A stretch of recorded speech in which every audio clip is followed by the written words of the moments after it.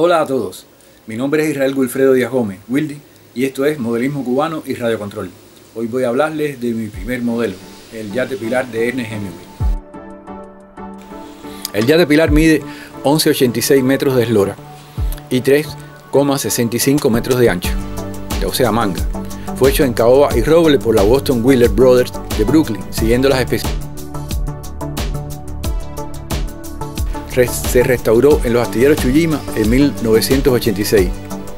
Mi interés por hacer el modelo creció después de hacer una primera revisión y sin encontrar en la web referencias sobre la existencia de un modelo navegable del yate, ni tampoco un kit comercial, aunque esa tampoco resultaba mi opción, pues aquí en Cuba no contamos con tienda de hobby. Si lo quería tener, tenía que hacerlo por mí mismo. De esta manera, con muchos deseos, sin apenas recursos y con poca experiencia, decidí poner todo mi empeño en materializar una reproducción lo más fiel posible con la mayor calidad que pudiera alcanzar.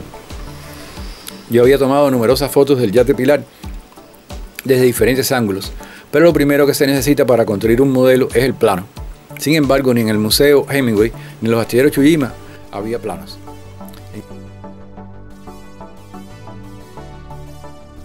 Quería que mi modelo tuviera 62 centímetros de eslora para que no fuera tan difícil de transportar.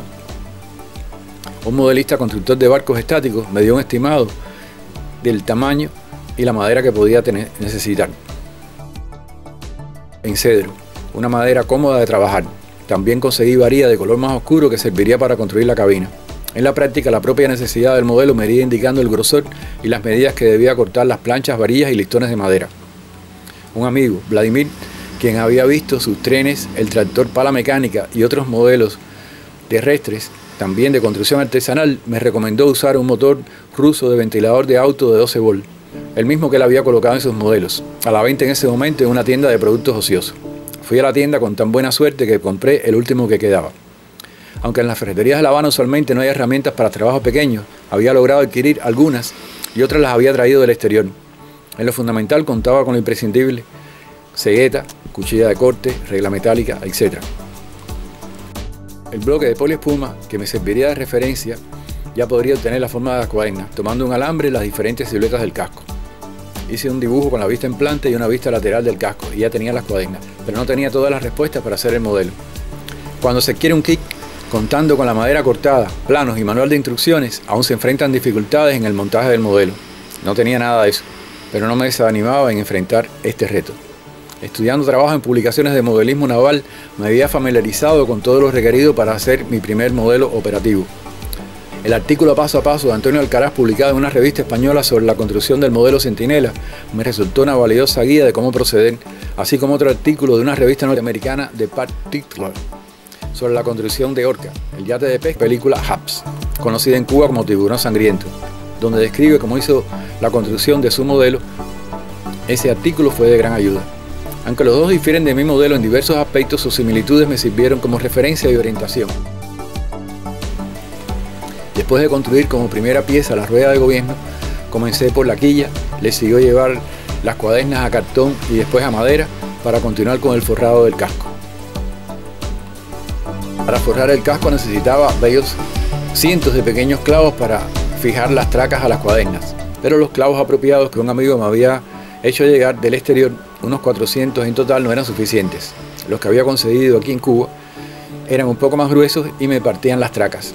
Para poder usarlo tenía que barrenar primero la madera en el lugar del contacto con la cuaderna para que no partieran los listones y quitarle la cabeza a cada clavo, uno por uno.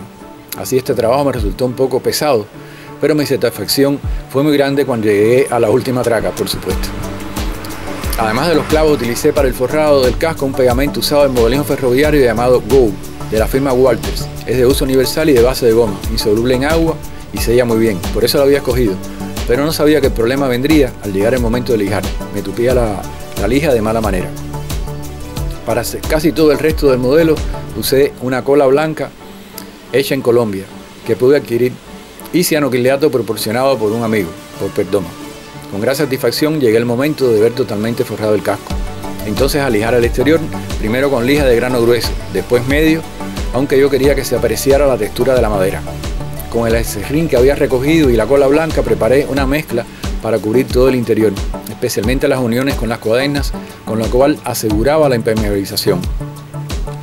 Mientras daba lija por varios días, alternaba la construcción de otros detalles como el timón. Para ello usé duraluminio de una vieja tartarita de hielo, después de darle forma en correspondencia con las fotos que tenía de referencia. Gracias a las piezas de un viejo juego de construcción, pude completar todo lo requerido para el timón. La barra que transmite la fuerza al servo. El brazo del timón lo obtuve de una varilla de sombrilla, doblada ligeramente para evitar que se trancara al girar, tal como había visto en el modelo Orca. Al terminar el lijado exterior ya seca la mezcla de serrín con cola en el interior, apliqué una capa de dope, impermeabilizante usado en la aviación porque no tenía otro disponible. El siguiente paso fue la pintura. Color marfil para el interior, negro y rosado en el exterior, marcando en rojo la línea de flotación. Poco a poco el modelo fue tomando forma. En un principio y mientras yo intentaba encontrar el material que no tenía o la solución más apropiada a cada uno de los detalles que, que me imponía la construcción, Fui haciendo el piso, el techo de la cabina, la silla del pescador y otros detalles. El modelo del casco en poliespuma, la vista lateral y la vista en planta de mi modelo, los trabajos del Centinela y el yate Orca y mis fotos del yate original fueron consultados por mí una y otra vez para determinar el paso siguiente, sobre todo hasta lograr la solución de las partes desmontables.